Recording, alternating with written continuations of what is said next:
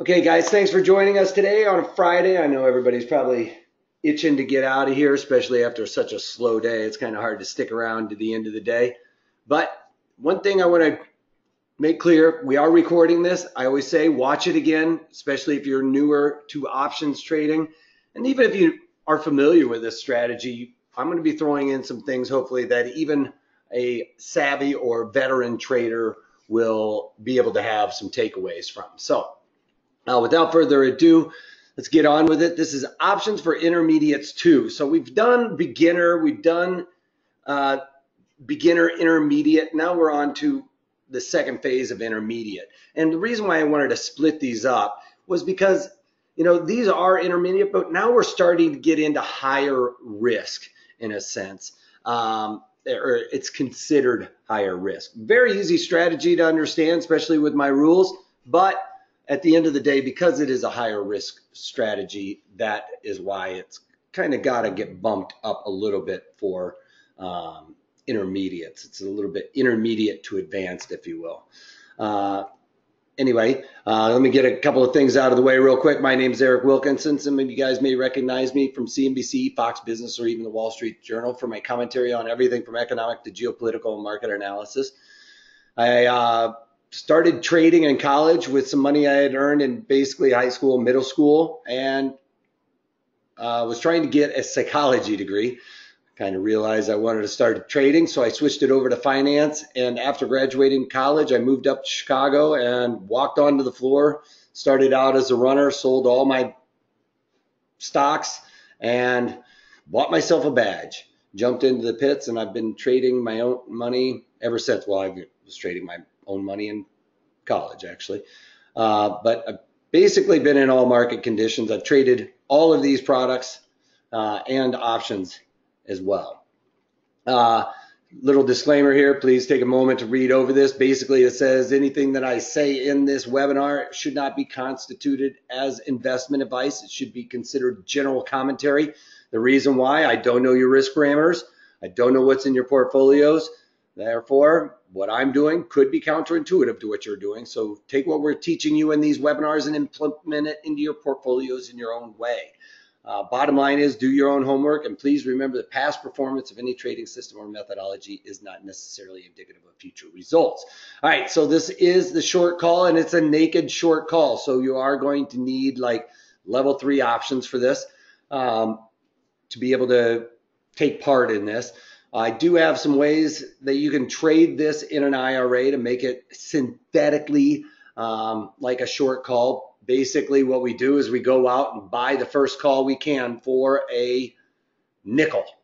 And that's my rule on that. Sometimes those spreads get really wide, but it gets around the rules um, of it not being a defined risk. We are not going to ever take it to that uh, defined risk area, hopefully, but uh, or at least I would do everything in my power not to. Um, but short call, naked is what we're going to be looking at today, but I'll show you guys how to trade it in an IRA to make it IRA appropriate. All right, our market assumption is bearish, okay? You can get away with it being market neutral. I would do something like a strangle or an iron condor if your assumption was market neutral. But what I want to say here is you will still have a winner even if the market stays neutral. And it could even slightly move higher if your bearish assumption is incorrect. You just don't want it to breach your short call, uh, is what we're doing. But we can make money in just about either direction for the most part. And we're going to be taking advantage of theta decay on this. And we want volatility to come out. We want volatility crush. That's the key to this strategy and really making money quickly. We want to be in and out of this strategy rather fast and if we get that volatility crush, we're going to get to that point rather quickly. All right, so let's go over a couple rules. Essentials to success. All right. Before we ever even start thinking we're going to sell a short call, I don't want you guys just to go out there and start throwing short calls on everywhere. You need to have these essentials in order to be successful. Because if you implement this strategy in the wrong environment, you are going to not be very happy. So I want to make it very clear. We want high implied volatility for that underlying. And what we're going to be looking at is implied volatility percent for any one underlying, and it needs to be above 50. Okay, and I'll go through how to figure out implied volatility percent here in just a second. But for a stock, anything above 50, that's when we can start collecting premium. Uh, ETF, because it's a basket of goods, the volatility, you guys, is going to get kind of flattened out. It's going to meld in a sense because it's averaging. You know, some of those uh, stocks in that ETF may have very high volatility, but some of those other ones are going to have very low volatility, and you can see how that would average one another out. So that's kind of what an ETF does. Therefore, we are willing to lower our rule there for ETFs to be greater than 30% on that. All right. Uh, and I want to show you guys how to figure that out real quick. So if we look at this chart right here and it's Apple, okay. So we've got the Apple chart here. This is implied volatility. You can throw it on there, but it doesn't have the implied volatility percent.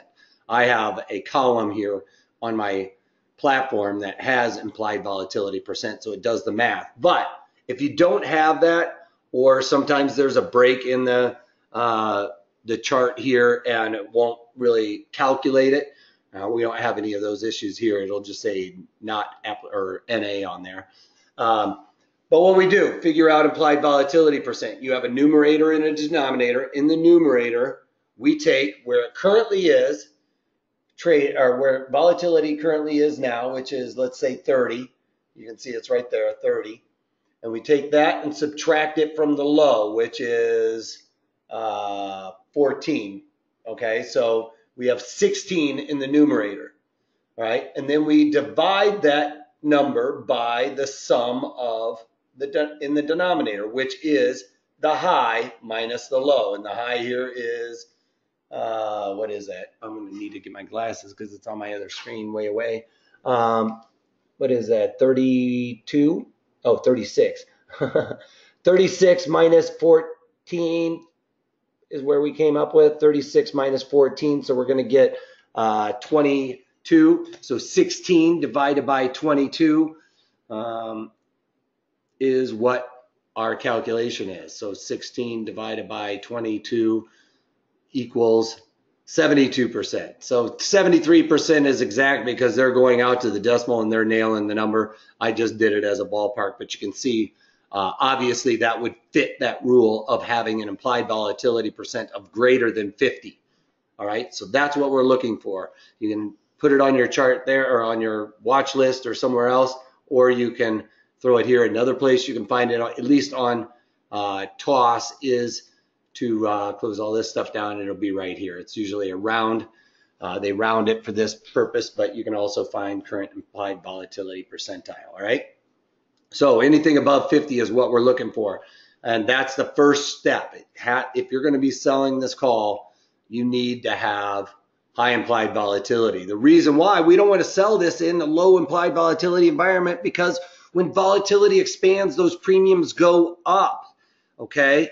And we don't want to sell in low implied volatility because of the probability volatility we will go up. The idea when you're selling volatility, when it's really high, is that probability is it's going to revert back to the mean. Okay. So that's what we're looking for. High implied volatility, revert back. Uh, and we want to stay away from low implied volatility altogether. All right. So we look for a stock that has or uh, want to short something uh, and be bearish on it, or we're bearish on this underlying. First thing we need to know is does that stock have high implied volatility, right? And another thing to know when markets go down, volatility has a tendency to creep up. So um, even if we're in high implied volatility, it may, if we get our directional move, it still may have volatility increasing on you and hurting you a little bit, but that directionality will help and probably outpace that volatility increase. All right, picking the right underlying we have to have a tight bid ask on the stocks, you guys. I, I see this all the time. As a matter of fact, my good friends, uh, I'm not going to mention their names, but you know, they were talking about uh, doing uh, an iron condor around AutoZone, and I think it's AZN. Um, it's not AZN. I can't remember what AutoZone is. I don't even have it on my watch list, to be quite honest. But really wide markets, okay? And don't get them. Everybody's heard of AutoZone, but there's nobody in these markets. Um, you know, you could. There's all kinds of stocks that will fall into that category where everybody's heard of them, but they're just not being traded. Um, uh, do you scan with particular criteria to develop your watch list? Uh, actually, my watch list, anything over here in the watch list should have tight bid ask. So for instance, you know, Deere should have a tight bid ask. And I go to the first monthly, the closest monthly to expiration basically. And what I do is it should be 10 cents wide to bid ask. Now, if it's over a $100 stock like Deere, move it three ticks to the left and it should be about 14, 15 cents wide, which this generally follows into that category. Okay. So that is my rule of thumb. If it's under a hundred dollars, uh, a stock that's under a hundred dollars, let's just say uh, Gilead, um, Gilead Science, under a hundred dollars, we should have bid ask inside of 10 cents. So you can see that these fit that rule. All right. Gilead Science is probably a uh, less popular uh, household name than AutoZone, wouldn't you say? And these markets are going to be much better than AutoZone um, or something like that. But that's how I come up with my watch list. If it falls in to this category of tight bid ask, it makes it to the watch list. If it doesn't, you know, if it's a nickel outside of it or something like that, you know, if it says, I should say it should be 15 cents, maybe, or 10 cents, and it's 15 cents, um, I may bend that rule a little bit. But if you're a newer trader, for sure, stick to that rule and build from that. And then once you get more comfortable with pricing and options, then you can kind of start letting that be a little bit more wiggle room. But in the beginning, you guys, I really want you guys. Uh, Ulta is another one that I kind of watch that doesn't always follow that rule.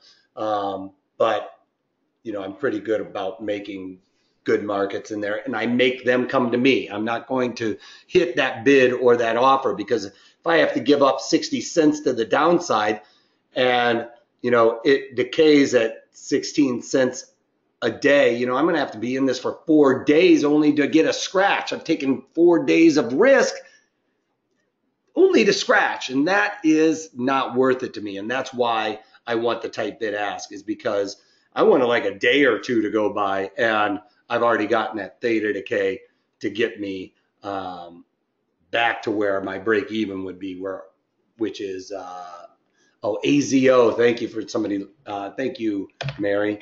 AZO. Um, so you can see, look at this dollar. I mean, it's a big stock, but 60 cents wide is my rule on this, and this is you know over a dollar 40 or something like that. So to put in or a dollar here, you know, that's just outside of anybody that it should be a newer trader because you're going to give up, you're going to get slaughtered by these guys making these markets. Okay. There's only a few people going to be in here trading this, and those guys can make the market whatever they want. You know, if there's only if it's just you, you have the only market in something, you can make that market whatever you want. But then we go to look at something like Apple. Um, and uh, there's so many people in here trading that they're almost falling over each other to make a better market. You know, you have a position in Apple, I have a position, that person, that person, that person. There's a huge group in here trying to make markets and get their strikes uh, at the price they want that they're willing to give up a penny here and another guy gives up a penny and somebody else gives up a penny and you know it's that real free market price discovery happening Whereas, you know, it's still free market price discovery in something like AutoZone, but you're going to have to give up way too much edge to get in and out. So stay away from that, especially in the beginning. And I, I stay away from it even now. I'm, I do not even have AutoZone's not even on my watch list. Uh, but I just saw that example happen not too long ago. So I wanted to make sure you guys are clear of that concept. Make sure tight bid asks. And that's during the day. We're after on a Friday and uh, probably a early rush to the Hamptons and there wasn't a whole lot of volume. Picking the right duration. Now we're in a real sweet spot here right now because we have like 21 days to expiration. You can go inside of this. I like to default back here because this 45 days to 35 days to expiration is my real sweet spot. I will go inside of this, don't get me wrong. Uh, but once it starts getting less than 30 days to expiration, I like to go out a little bit further. And right now we're kind of at that where um, you're going to have to make a decision. Do I want to go further in duration, which is going to get you further away from where the underlying is trading? And then you get this theta decay. These are the at the monies. We aren't going to be dealing with at the money, so our theta decay chart will look a little bit different. Uh, so we can all debate that, but this gives you a good idea as to how theta affects the premiums the closer to duration. So, or closer to expiration, sorry. But you can see 50% drop in those premiums inside of these 28 days. Now, I don't like to go inside of really even 14 days necessarily, and I definitely would like to be out outside of seven or uh, if it's getting close to seven days. Right. Uh, if you're inside in this trade still, um, you are really probably having a trade that's uh, testing your strikes. Uh, and if it does that, we'll talk about ways to trade around that as well. But try and get out here. I'm going to probably be talking mostly around the 45 days to expiration, uh, but you can go inside of this. Uh, I would be very quick to cover this trade uh, at like 50% of my max profit. And I'll, I'll talk to, about that a little bit further. I'm going to be looking for that even on the 45 days to expiration. 50, maybe squeeze out 60, 75% of max profit. I'm not going to ride, I'm not the guy that rides this into the sunset, you guys. I know a lot of people will teach and say just take it to expiration. I don't do that. I don't like the gamma risk and all that other stuff that's going on inside of seven days. You know, there's big money in there trying to push that stock around to get their strikes. I just, I don't want to be involved in that game. Uh, I'd rather just take my money out here and let the big boys play there. All right. Uh, do you only use at the money strike for the spread calculation or, or if it applies to any strike you consider? Um, if we're talking about creating a spread out of a naked sh- short call synthetic strategy where I'm buying that first nickel, is that what you're talking about where I mentioned that earlier? Or are you talking about this theta decay? Dominic? Uh, that was for the 10 cents. I'm not sure. Um, try and uh, explain that a little bit better for me, please, Dominic. Um, so I'm going to be talking about this for the most part, but don't go too far out. Yeah, you will be able to get further away, but you're going to be sitting on that trade for a long time because you can see theta is not going to decay very quickly. And something to know, why do we want to get involved in a high implied volatility environment? Because what happens is implied volatility starts expanding. What happens is this kind of whoop goes out a little bit and it flattens. That doesn't allow theta to come out. And then when volatility comes out, this is why we used to call it volatility crush because it goes, that's happens to your premiums to catch up. So we want to be involved here. And when we get that volatility crush, get out early. So that's why you really want to get in when it's high implied volatility because it's starting to flatten out. You don't want to get in when that volatility starts expanding on you. All right. Uh, rule for bid ask. Oh, sorry. Yes, you use the at the money. Yes, Dominic, correct.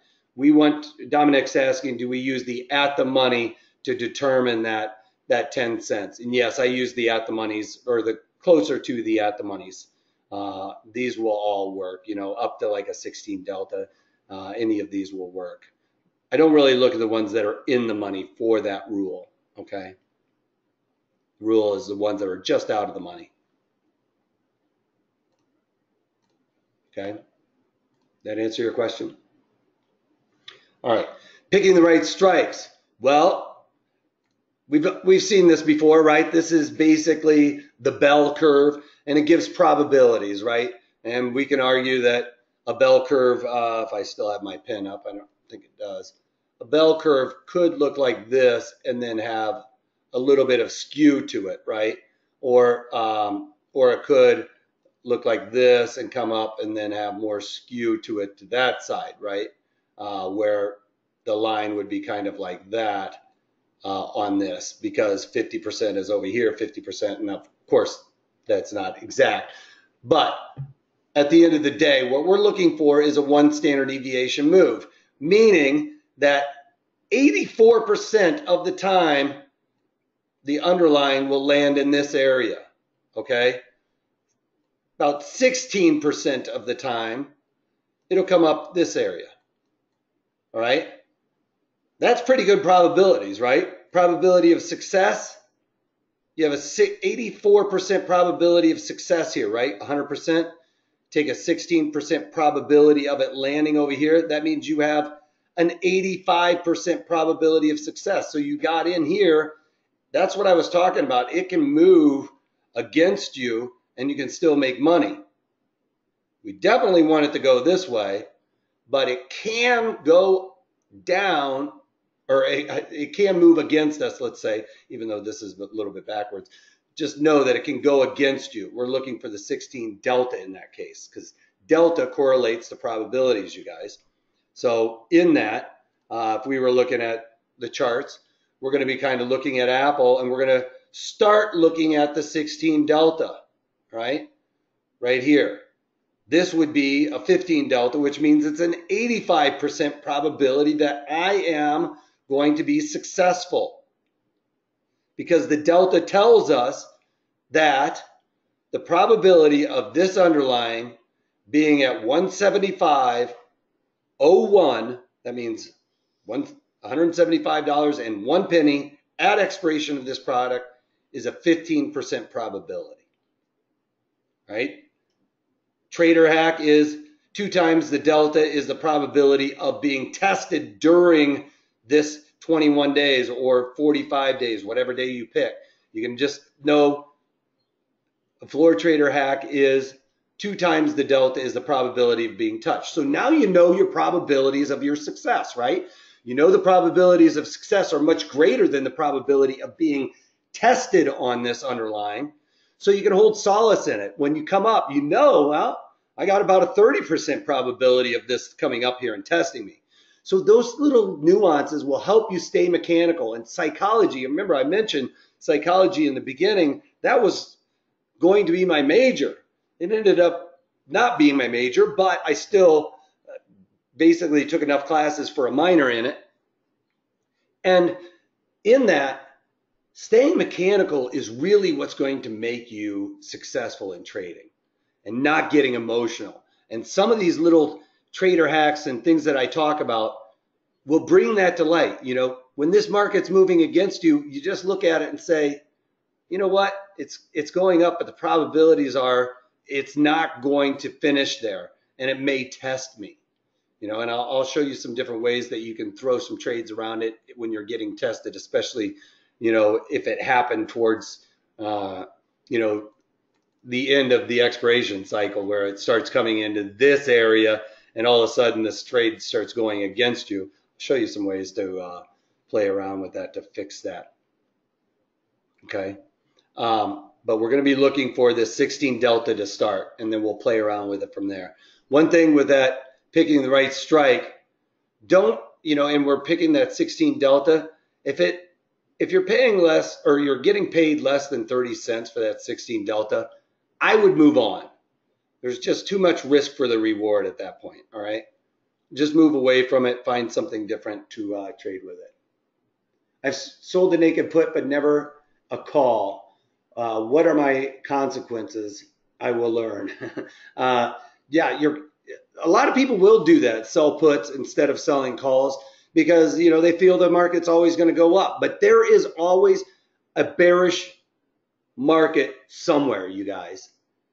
You don't always have to pick the stocks that are always going up. You can capitalize on the ones that are going down as well. And I implore you to do that because if you are always directionally biased to the upside, you are not properly hedged. You always need counter opposing deltas. And if you are always delta long, then uh, you are really at the mercy of the market.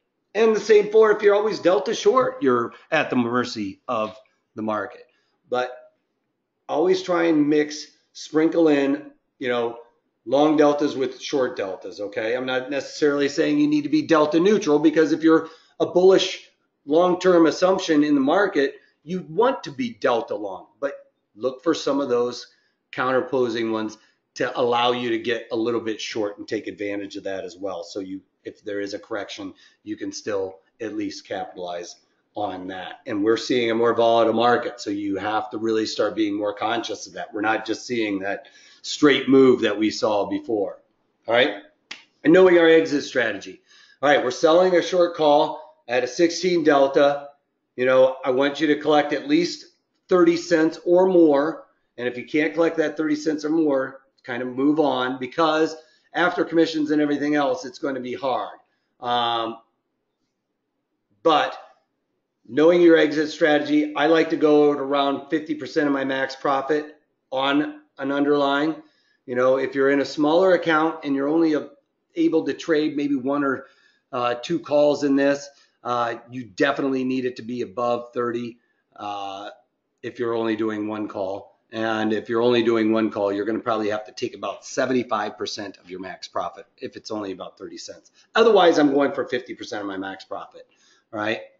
Uh, every once in a while, I will squeeze it out for a little bit more, but I'll tell you, the times where I'm kind of getting getting to that point of being able to squeeze it out for more, it's usually because volatility is starting to really come off, and I'm able to get out of it uh, for better than 50% of my max profit. All right.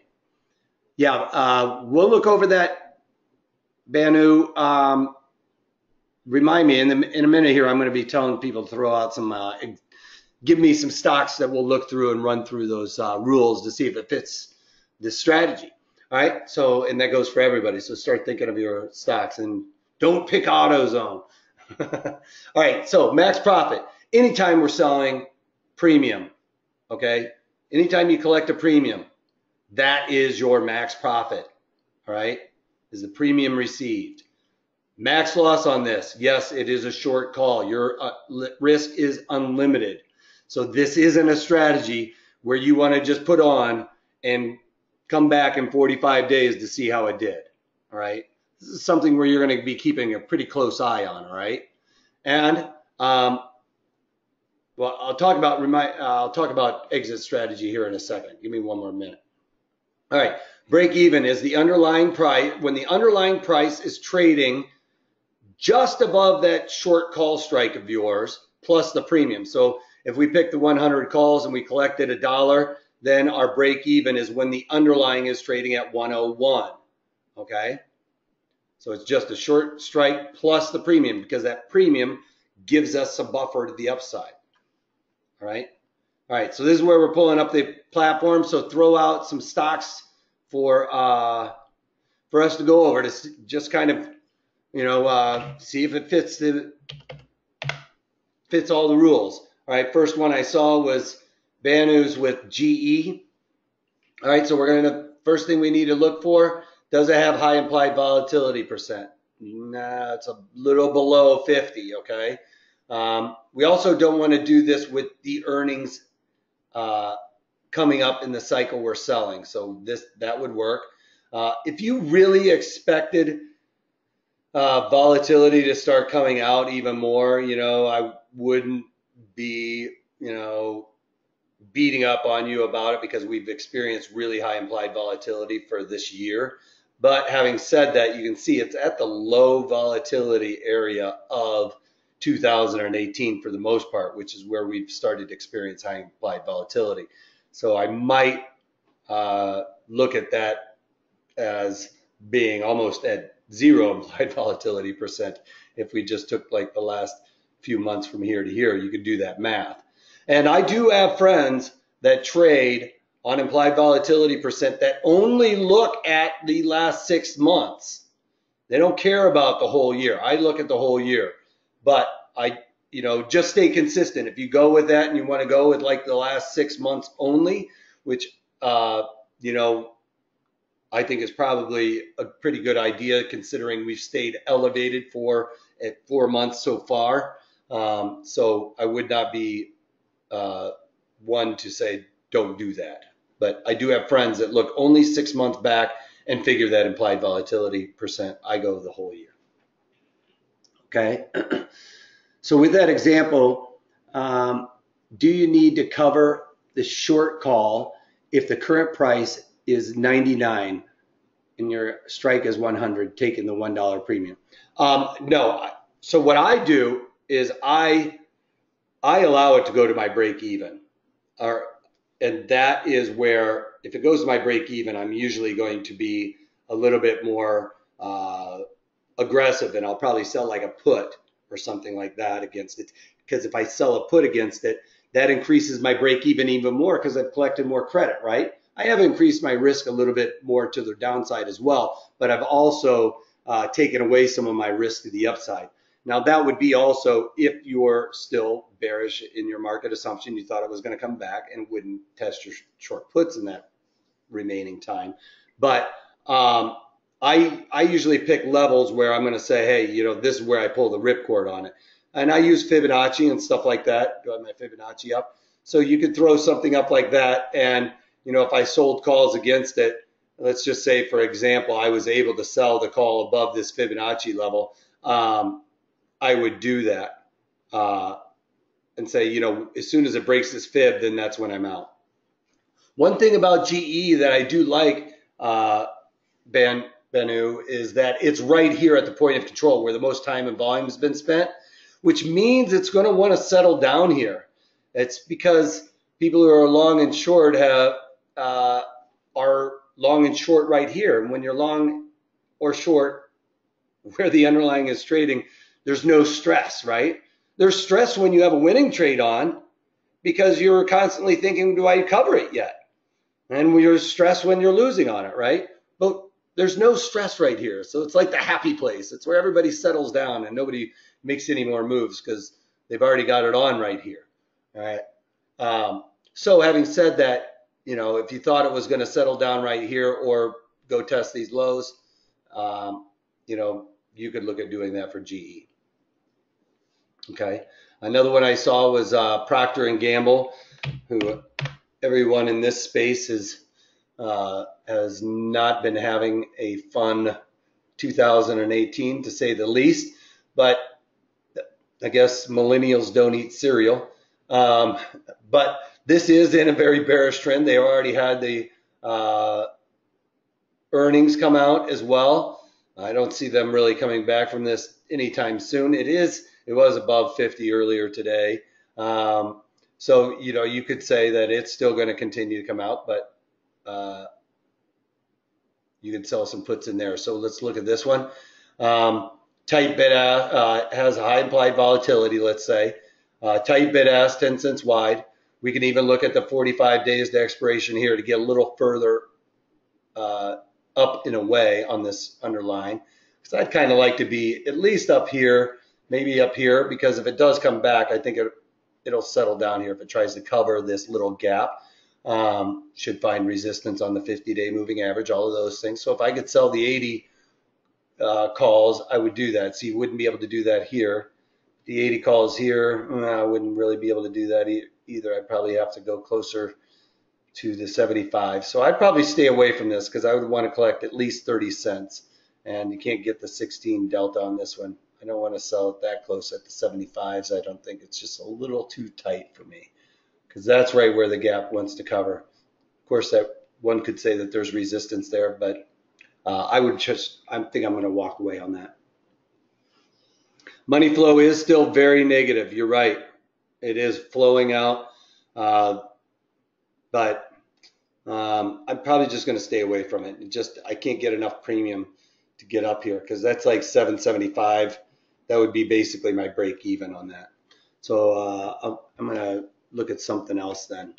Uh, let's look at Adobe I think Adobe's been in a bull market though. Oh, dyslexia, I guess.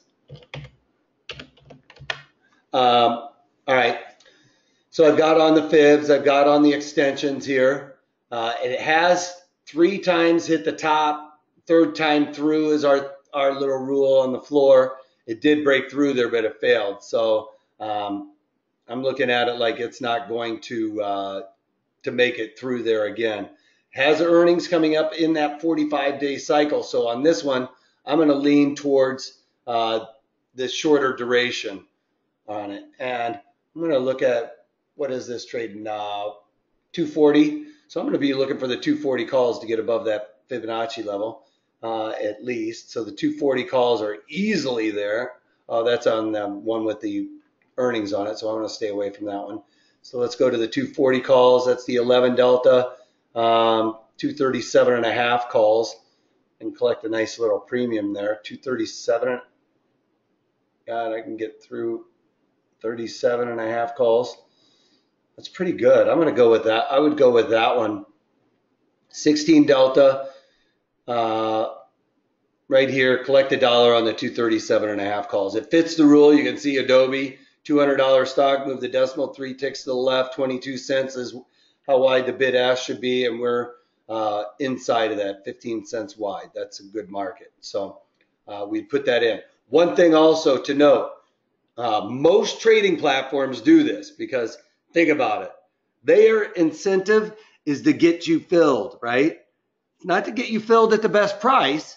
It's to get you filled. And what we used to say on the floor, it's fill them and bill them. All right. And that's their mantra. They don't care about the price or anything else. They just want your commissions. So if I go to sell this, uh, strike here, you'll see if my computer will figure it all out, that it's trying to default me to the bid. And remember what I talked about? When there's a lot of volume and open interest and you start having tighter markets, just better the market. I would come up here and I'd probably offer this at 98, which is, uh, it's saying that's the mid market on that.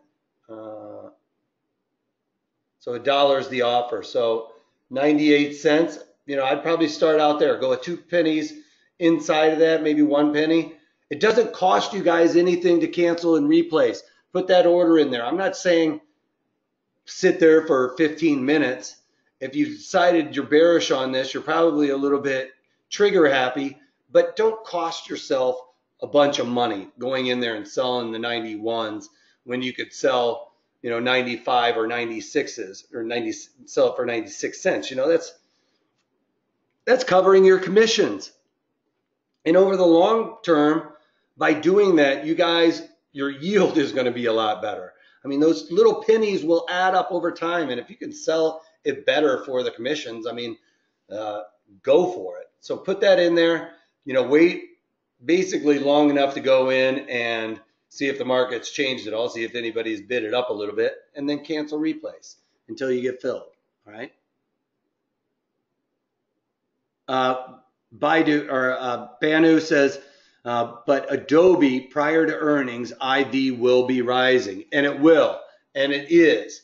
As you can see here, this volatility is going up, but it's not going up as much as this one is. And this is the volatility, implied volatility, isn't going to affect this one as much as the one that has the earnings in it, and that's why it is going to go up because of those earnings. Okay uh, is the 16 delta and the 30 cents guidelines the same for selling covered calls?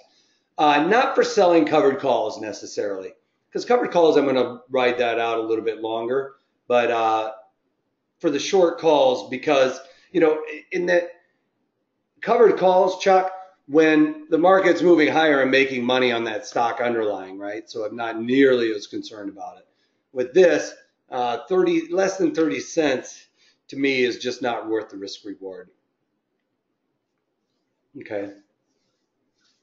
So try and at least collect more than 30 cents. And, you know, you're going to have to play with a little bit higher price stock like uh, GE is, is not going to be able to uh, get you that 30 cents because it's such a low price stock. And I would never sell GE at a 14 cent anyway, but or at $14 stock because there's just way too much risk to the upside for that as well. Uh, I would find different ways to play that to the downside on that.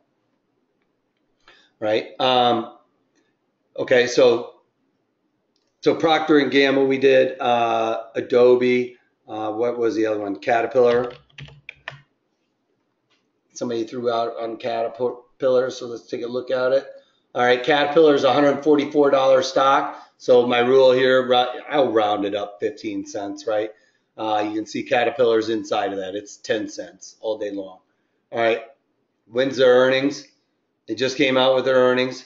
Does it have a high implied volatility percent? It's pretty close. The ones that are way up here are the ones that have earnings in them, you know, and that's what Banu was talking about is that when you have earnings, that implied volatility gets jacked, and it does.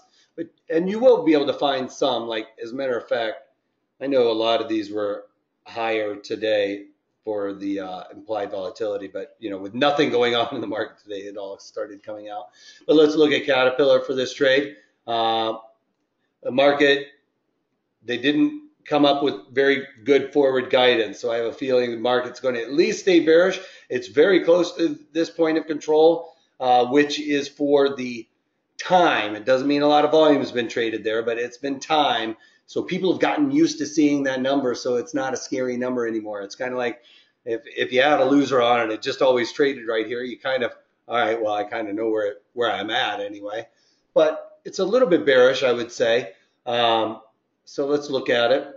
Uh, where would we want to be on this trade? I'd like to throw up the Fibonacci's because uh, it just gives you a little bit of an idea of where we're going. So it's going to be pretty high. So I would probably look at something like this for my, actually, you know what? I'd probably look at this as my resistance. That's a couple times up there. So I want to at least be above 161. I got a bunch of resistance for this to get through. It looks like it's very close to settling below this, which would even be better for me. So uh, I'm going to be trying to look at something like a 175. And this is what I go through every time I put on a trade, you guys. This is how I go through these steps, trying to figure out where my risk is, where I want to get my location. And if it doesn't work out that great, then I'm going to kind of move on. So 160, I want to at least be above to be feeling really comfortable about this trade. Uh, the 16 delta is um, 155. Um, where's 155? 155 puts me right there at the point of control where I think it's going to settle down right against that resistance. I'll take that risk. I'll give it up a little bit more. So that's where I would I would be looking to get it into here. That 16 delta, I'm comfortable with getting right there at that resistance area as well. And I see a bunch of people throwing out some questions I think uh, that I may have missed. So let me go over there. With CAT, does the volatility uh, or the volume profile P, P, point of control so far below current price matter at 107. Dominic, uh, I usually will go with uh, when it's that far away, it's really kind of lost uh, a bit of its strength. I mean, that was back early on in uh, almost a full year ago, uh, where all of that volume traded, and that was mostly due to you know value, uh, finding value in it. So I'm more inclined to go for this one. Uh, you know, they they right here you are going to be more comfortable, but here everybody's kind of gotten used to it, so they're more comfortable as well, or they're comfortable as well with that. Because if you've lost money and it's always trading there, you're kind of like, oh yeah, well I've already, you, you kind of forget about it a little bit more. Um, but I'm a little bit bearish on Caterpillar right now because I'm. If you watch my daily market commentaries that I've been talking uh, constantly about, we're seeing some global emerging market slowdown. Not, I'm not saying we're in contraction territory, but we are not seeing the expansion we would like to see for a robust global economy uh, turnaround. United States, we're doing all right.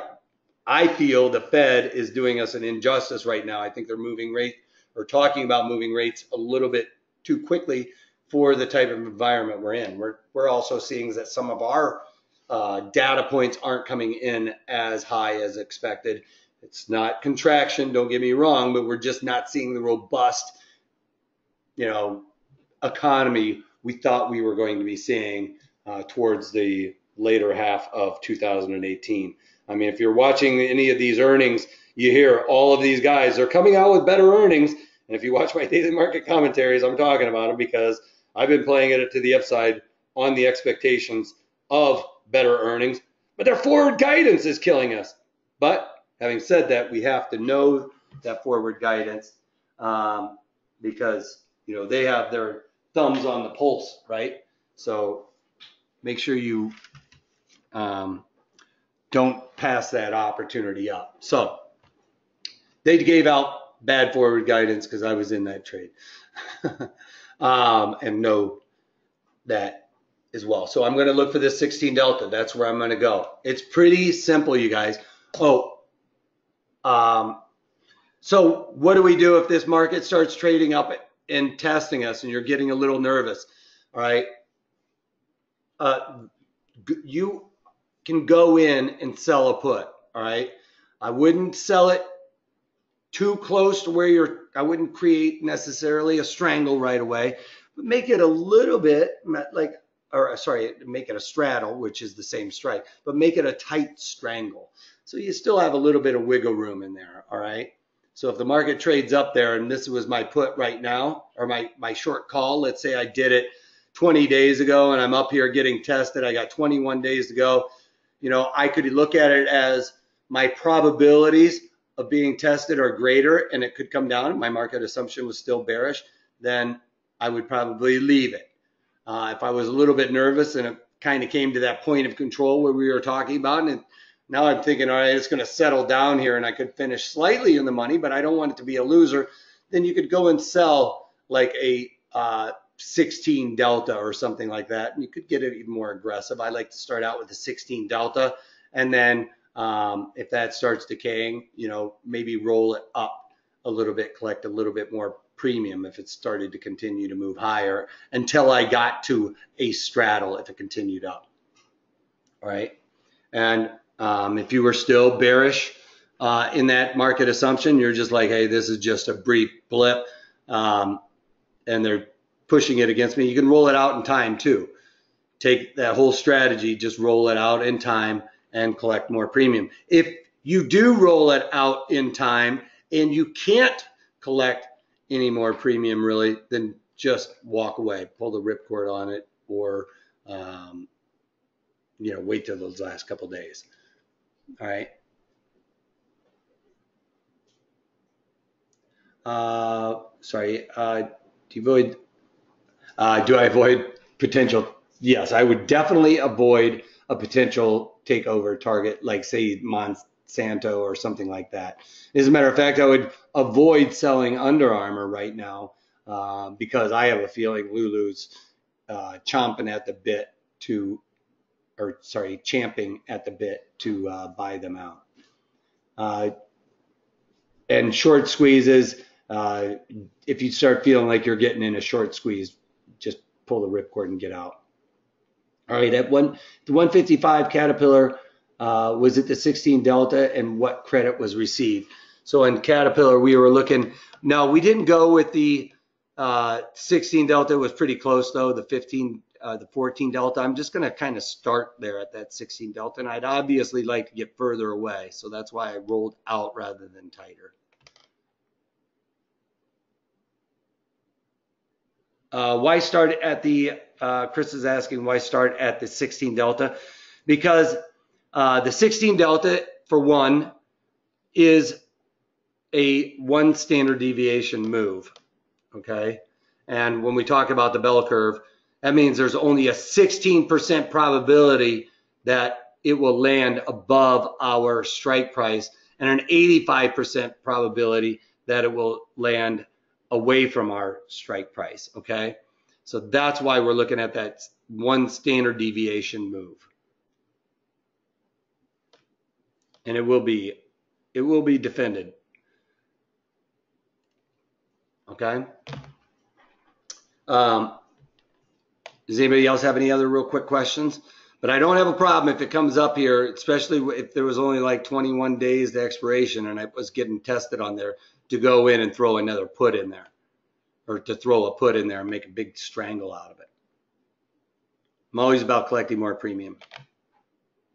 Okay.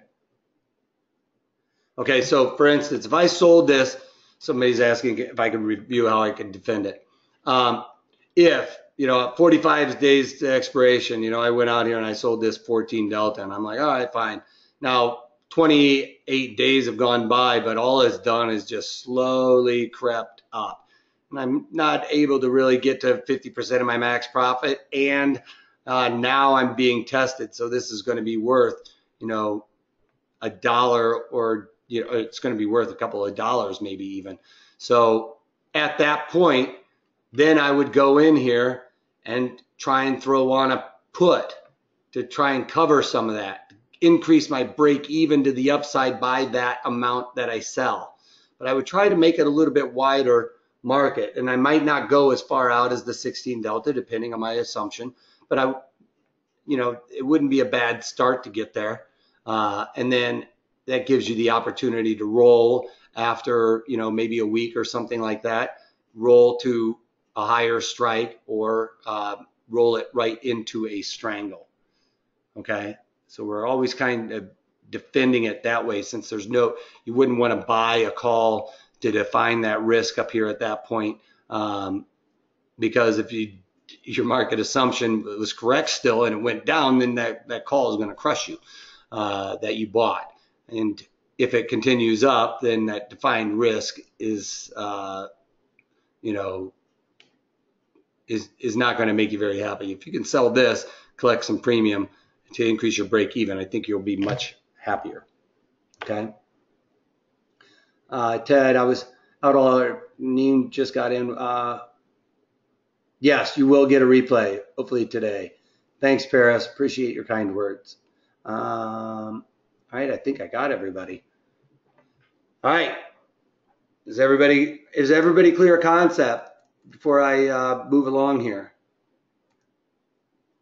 Pretty simple to understand. Like I said, um, strangle uh, strangle is a long put and a long call. Well, a strangle can be a, a, a long strangle is a long put and a long call. A short strangle is a short put and a short call. So we would be creating a short strangle in that situation. That makes sense?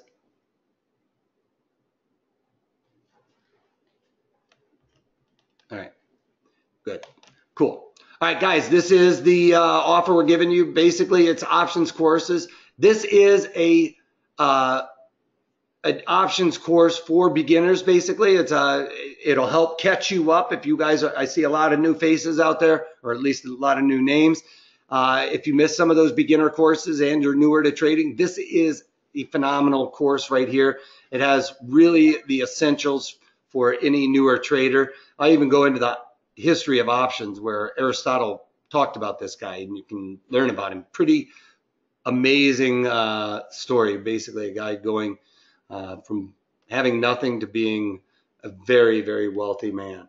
Um, and income generation with options, things of that nature. I'm going to be briefly going over some of those.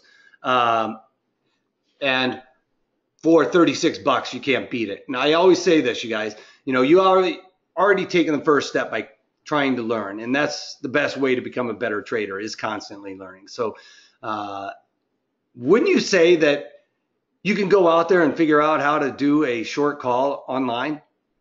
Yes, of course you can. I'm not going to lie to you, but they aren't going to have these rules. They're not going to tell you how to get out of it. They're not going to tell you when you should be getting out of it. Most of these people that are teaching people how to trade options tell people to write, and they're always talking about their winners, but they're always writing them into the end of the day. And I think that that's too much risk. There's just a lot of things going on in the last week of options expiration that I think that especially beginner traders should stay away from. So basically, uh, technical trading helps. Knowing that how to trade the options helps, but staying mechanical is really where it's at. And uh, if you really want to get ahead in this game, it, the best way to do that is to trade with probabilities and know the probabilities in and out because that will make you become more mechanical. You won't trade with that emotion, you guys. And that is the one thing that will take any trader down is allowing their emotions to get the best of them. And if there's anything that I learned in my, I, I think my psychology degree actually helped me out trading more than my, uh, my finance degree, to be quite honest. But um, increasing your probabilities of success. Anybody can tell you how to build this strategy, obviously, but I teach you guys how to trade with probabilities. And when the probabilities have gone against us, how to stay mechanical, like selling that put. You know, nobody else is going to teach you how to trade around a loser because they only talk about their winners. They're only going to sit there and give you examples of their winners. And I implore you guys to watch my daily market commentaries because I talk about every single trade. I tell you the day I put it on, so I am accountable, right? And I tell you when I'm taking it off. I'm accountable. I tell you the winners and the losers every single time. Um, I'm not going to sugarcoat anything. I'm, you guys will be going through all of this stuff with me if you're watching those. So basically, when you guys are using the right tools in the right situation, you're going to be more productive state of mind. And that will allow you guys to put on more strategy, which creates more opportunities. And the more opportunities is really where it's at. You know, uh, if you guys, like I said, these earnings trades, I'm trying to put on as many pro- any trade as many trades as I can to increase my probabilities of success. I don't care how sure you guys are that some your directional assumption is right. Do not, do not put most of your portfolio value in any one asset. I don't care how sure you are. Uh, my rule is, you know, less than 10% of your portfolio value should be in any one uh, underlying. Okay, that's another little tidbit that's not really in on this. But um, anyway, we're offering this today for you guys. I suggest you take advantage of it. It's in the chat window. We've been going back and forth in the questions box. I threw it over there in the chat window for you so you can just click on it. If you're watching this on tape delay, you're just going to have to pause and punch this into the URL like I did here. I typed this in myself. So uh, I should give you this right here. All of these uh, different uh, webinars. There's even several more. So you're getting like over 10 hours of webinars with this one. And protecting your portfolio against rising interest rates, you guys. Uh, your bond portfolio, most people have 40, 50% of their assets in bonds. You're going to get decimated, and you cannot chase a higher coupon. It doesn't work. The portfolio value will be much less than that amount you will be able to recoup. Okay. And that's because the guys pricing it know where to price it so that you can't. And there's only one way to beat that uh, to increase those coupons. And I show you how to do that in there. I see a couple questions coming up here also. But let me, I'll get to those questions. Give me one second um, to finish this up. You guys can reach out to us at 310-598-6677 or trading at protraderstrategies.com. Um, if you guys have learned anything at all from me today, I suggest you guys take advantage of this. Um, and you guys should be really trading with this knowledge. So what do you say? Go ahead and click on that link that's in that box over there, and I'll get you set up right away. Uh, finally, if you can't take that, take it easy. That was a card hitting the wall. All right, uh, let me get over to some of these questions real quick, and um, and then I'll get on with it.